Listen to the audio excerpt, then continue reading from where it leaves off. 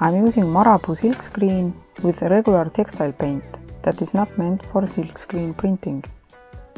But I want to see what happens. The shirt is 100% cotton. I put a piece of cardboard inside the shirt. Additionally, I will add a sheet of film paper that doesn't absorb the paint. I will fix it with some clamps.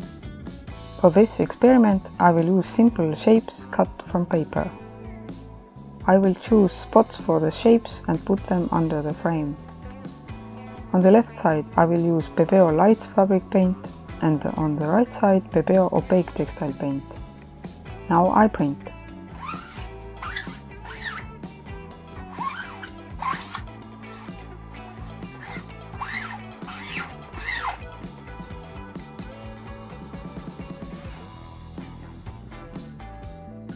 The result is pretty good.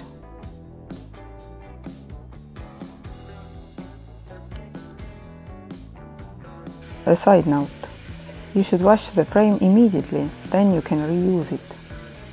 I will use a toothbrush to clean it. The used silk screen will have faint paint stains. This is okay. Now I will let it dry for a couple of days. When the paint has fully dried, I will iron it to fix it to the shirt.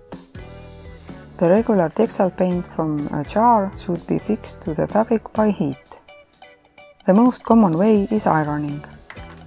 I will iron it through a thin layer of cotton with the hottest setting, without any steam, and for at least 3 minutes. Then I will turn the shirt inside out and iron it another 3 minutes. After washing, I always turn the painted clothing inside out before putting them in the washing machine. Then I will set the temperature to 40 degrees centigrade and a low spin cycle. Here they are. It is possible to use silk screen with regular textile paint. I'm very satisfied with the experiment. Thank you for watching, like and subscribe.